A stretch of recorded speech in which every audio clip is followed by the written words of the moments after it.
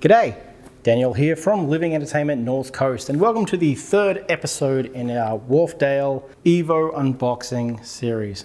Today we are tackling the Evo 4.4, the big boy. This is the largest of the two floor standing speakers in the Evo series.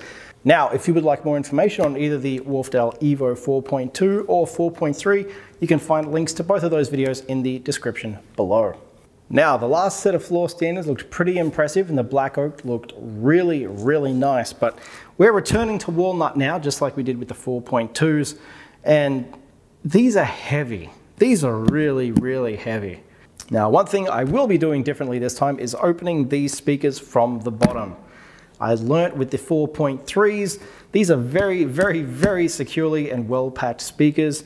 And unlike a lot of other floor standers, you can't simply slide them out of the top. These kind of really need to be opened from the bottom with the boxes pulled up. So um, that said, let's get to it.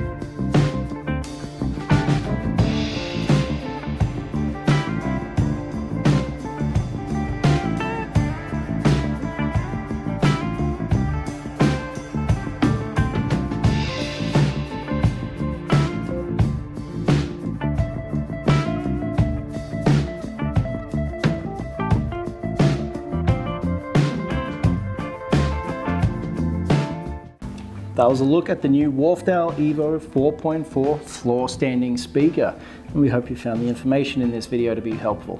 Now, I got to listen to these speakers on a couple of different amplifiers today. I got to pair them up with the Audiolab 8300 CDQ, which was running through the Audiolab 8300 monoblocks.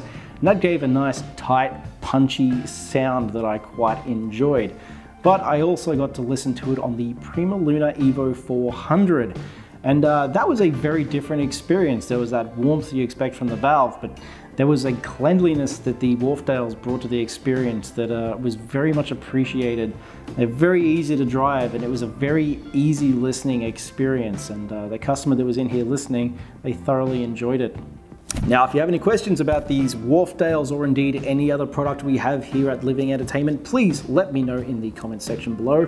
Or alternatively, you can hit us up on our socials, or if you're in Australia, you can actually give us a call.